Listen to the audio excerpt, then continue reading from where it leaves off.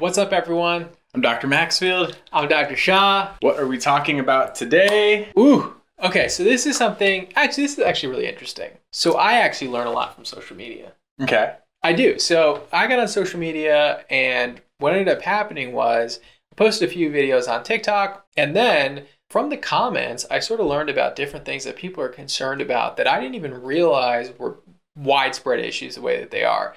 So people come into our office for all different kinds of concerns, skin cancer concerns, acne concerns, things that you hear kind of commonly, but some of the concerns that people have in their house that they're not as worked up enough to go to a dermatologist, they have questions about these skincare concerns. And I just didn't know how common and widespread they were. And so we're going to be talking about one of those things today. So today we're going to be talking about keratosis pilaris. Some people call it chicken skin, some people call it strawberry skin. Little bumps that you see on the arms, the thighs, sometimes the cheeks, but most commonly in adults and young teenagers, you're going to see it on the arms and the thighs. They're just little red scaly bumps. So keratosis pilaris is very difficult to treat. Uh, you wouldn't think it just looking at these little benign bumps, but it's just very difficult. So what we're going to tell you is going to help. It's going to help with the redness, the roughness, uh, but it's not just going to cure it. I'm telling you, I get so many questions about keratosis pilaris. So in this video, we're going to address those questions. So here we go. Here we go.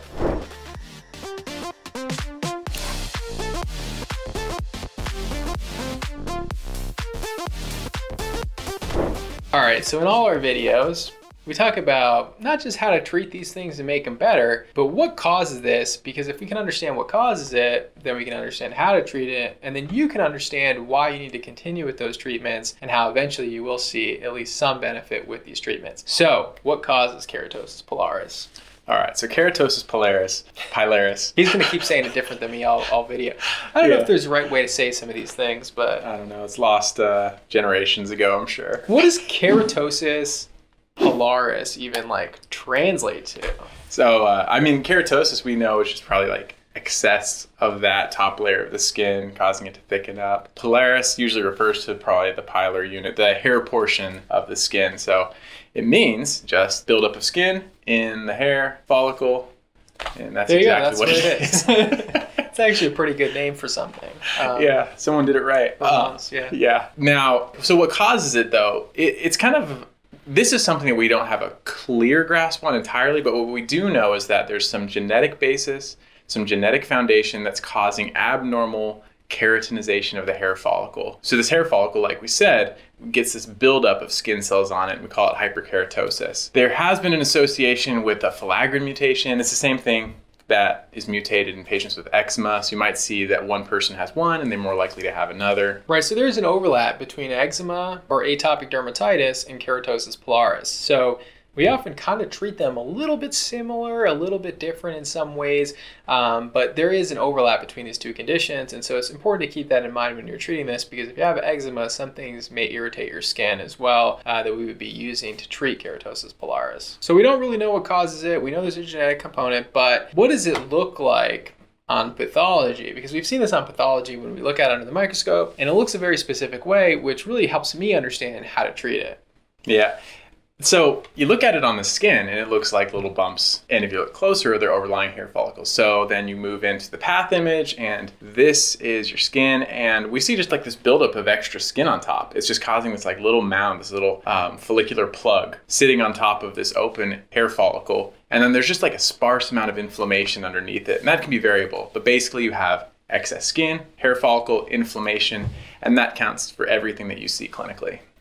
Right so little keratin building up around the hair follicle plugging the hair follicle giving those scaly red bumps that you see on the skin and they can go from just kind of bland looking and scaly to more red and inflamed and scaly if you get a lot of inflammation around that hair follicle that's being plugged by this keratin. To get rid of this, what we have to do is try to break up some of that keratin that's blocking that hair follicle. But you got to keep in mind that a lot of these people have an overlap with eczema, so moisturizing is also very important. So when we come up with treatments, we combine these two factors here. We got to break down keratin, we also got to moisturize at the same time. And so with that in mind, here come our treatments. So there's three ingredients you want to look for when you're treating your keratosis pilaris. One, salicylic acid.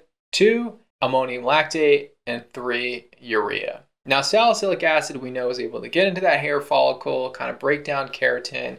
It is an exfoliating agent. It doesn't have moisturizing properties. So salicylic acid needs to be combined with other moisturizing ingredients like ceramides to really get that effect that we want in keratosis pilaris. Amlactin or ammonium lactate does have moisturizing properties in and of itself. And so ammonium lactate and a moisturizer can be very effective for treating keratosis pilaris. And then the next one, which I really love, is urea. At certain concentrations is where it makes a big difference. Yeah, so this is where it kind of actually is going to behoove you to pay attention to um, behoove you, I guess, whatever. This is a long story. I know you guys went to medical school with me in my class. You know what I'm talking about.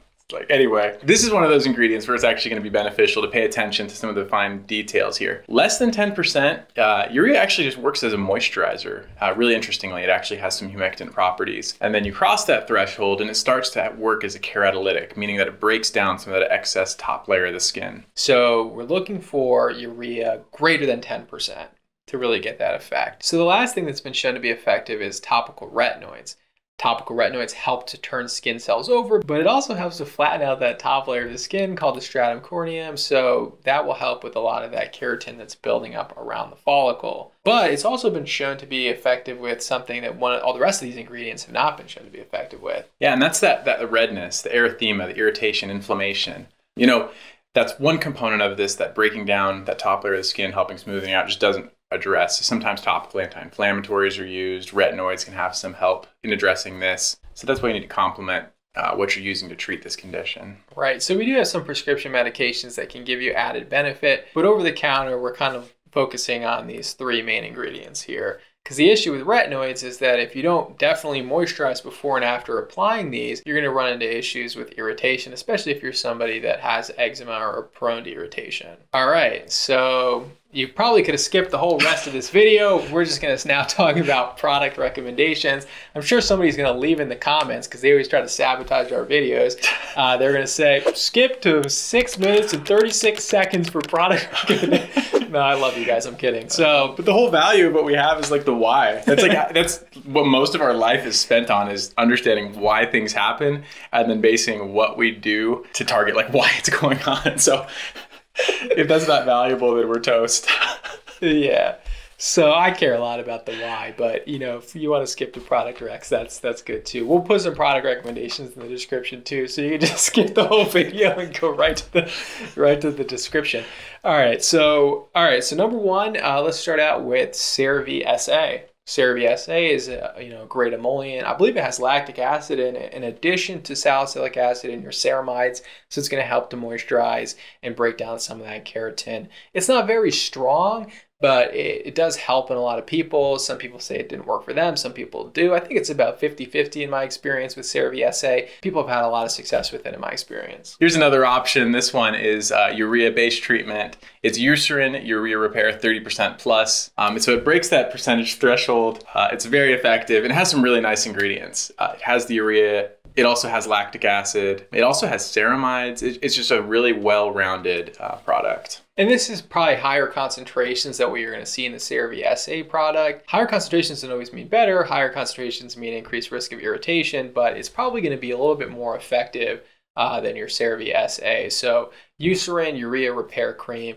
going to be highly effective, and we understand why. Next up, the tried and true amlactin, which is a 12% ammonium lactate lotion. It does smell a little funny, I'll be honest with you guys. I don't know. Eh, eh, first of all, everything with lactic acid actually smells a little bit funny. So you'll notice that, but it doesn't, so you get used to it pretty much. But amlactin does smell a little bit funny, but it is very effective. You know, it, it's helpful for, you know, scaly feet, kind of helps break down that keratin, but also going to be very effective for your keratosis pilaris. And so those are going to be our top three product recommendations. You can also use some exfoliating scrubs in the shower. Dermadoctor has a KP scrub that's very effective. Necessaire has an exfoliating body wash as well that can be effective to kind of help break down that keratin. But like I said, you definitely want to moisturize within five minutes of getting out of the shower, just like we would say to any eczema patient with these exfoliating emollients. All right, so the last one, you're gonna hear this one here first. This is the CeraVe Psoriasis Cream. The CeraVe Psoriasis Cream has salicylic acid, but it also has urea in it as well, and it's at higher concentrations than what you see in your regular CeraVe SA cream.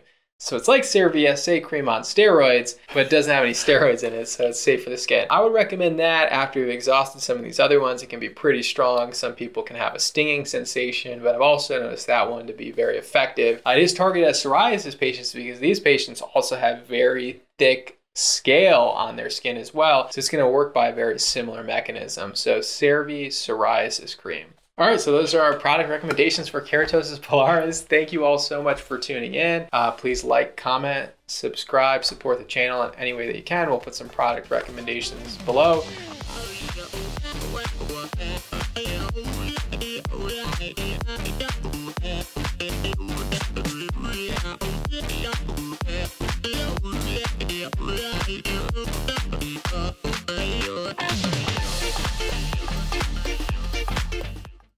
Keratosis pilaris is very difficult to treat. And you wouldn't think of it. Keratosis pilaris is very difficult to treat. Uh, you wouldn't think it looking at it because it just looks like little bumps, but it is just so resistant. So what we're going to give you is going to help. It's going to help, but it won't just cure it. All right, maybe without being out of breath. All right. Uh, all right, go ahead. Uh, Take a deep breath. Just lifted a curtain, like the It's top of one. unbelievable. With all those muscles, he lifts a curtain and is out of breath. So I'm in better shape than he is, quite frankly, is what I would say. Uh, I'm ready.